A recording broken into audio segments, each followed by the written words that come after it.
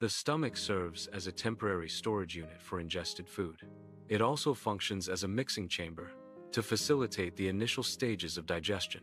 The stomach's muscular walls contract rhythmically, churning the food.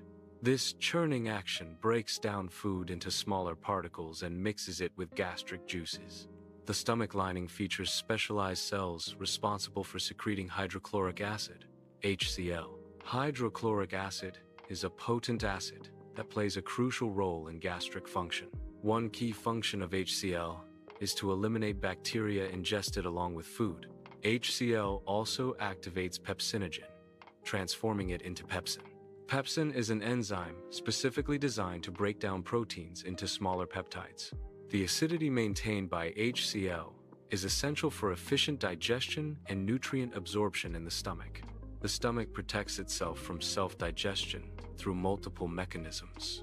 A thick mucus layer coats the stomach lining, providing a physical barrier against stomach acid. Stomach cells are rapidly replaced every two to three days, ensuring continuous renewal of the protective lining. Bicarbonate ions within the mucus neutralize acid near the stomach wall, maintaining a pH gradient